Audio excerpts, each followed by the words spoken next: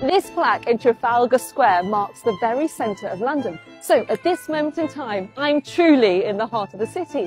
Now it's earned this title too because this spot is packed with history.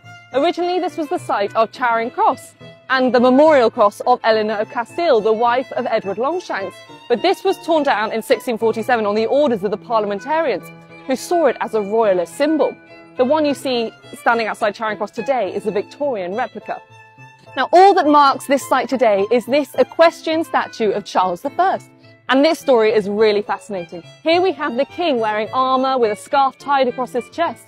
He's holding a baton in his right hand and the reins of the horse in his left. Now, this statue was commissioned in 1630 and probably cast in 1633. But when the Civil War came about, John Rivet, the owner, was instructed by Parliament to break down the statue, this great symbol of royalism. But Rivet wouldn't do it. Instead, he hid the statue and produced some broken pieces of brass as evidence. He even made a good business selling thimbles, knives and trinkets, which he pretended had come from the melted down statue.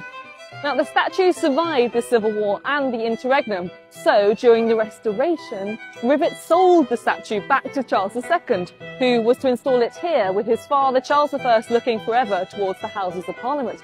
But before the statue was installed, Charles II instructed a number of the regicides to be executed on this exact spot. Samuel Pepys witnessed one of the executions and recorded in his diary, I went out to Charing Cross to see Major General Harrison hanged, drawn and quartered, which was done there. He looking as cheerful as any man could do in that condition.